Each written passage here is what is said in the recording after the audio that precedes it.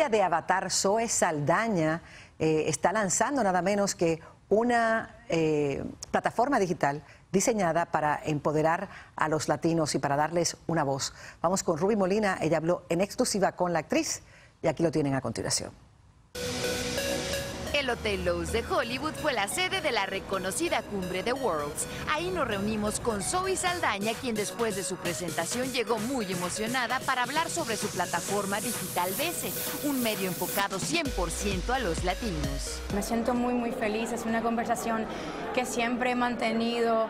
al principio era con mi familia solamente, después eran con mis amigos, después eran con mis colegas, después eran con líderes de este país y, y finalmente he llegado aquí a un punto donde decidí manifestar esta, esta conversación.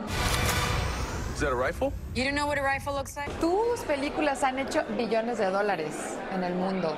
Eres una actriz consolidada que no necesita comprobar nada.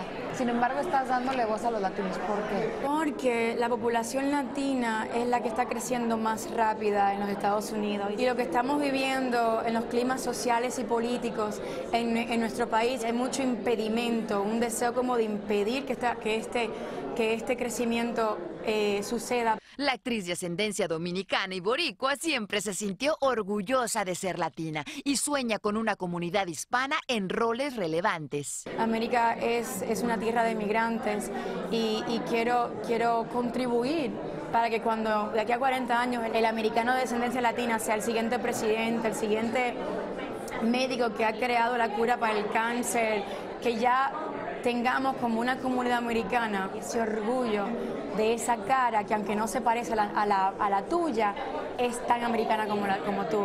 Ese orgullo latino le fue inculcado en casa y su padre cumplió un rol preponderante en su formación. Estuviera sumamente orgulloso, estuviera todavía educándome y retándome.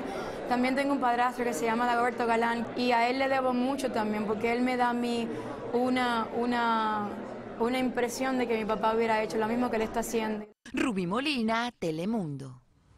En vía pública, en la que estuvo involucrada, según las autoridades. Encuentran efectivamente a una mujer que está fomentando riña y eh, es requerida.